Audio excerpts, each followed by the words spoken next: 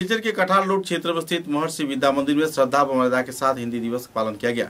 चौदह सितंबर को आयोजित इस कार्यक्रम में शिक्षक, शिक्षिका छात्र छात्रा व दूसरे वरिष्ठ कार्यकर्ताओं की उपस्थिति में कई प्रतियोगितामूलक कार्यक्रम आयोजित किए गए। बच्चों ने कई रंगारंग सांस्कृतिक कार्यक्रम पेश कर दर्शक, श्रोता तथा दूसरे छात्र छात्रा व शिक्षक, शिक्षिकाओं का दिल जीत लिया।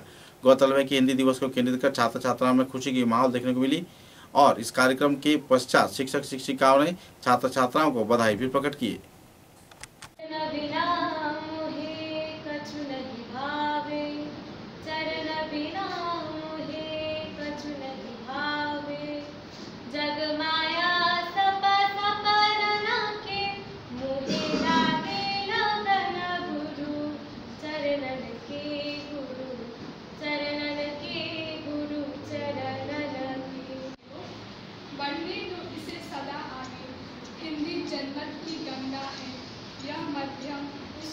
स्वाधीन देश का, जिसका ध्वजा तिरंगा है।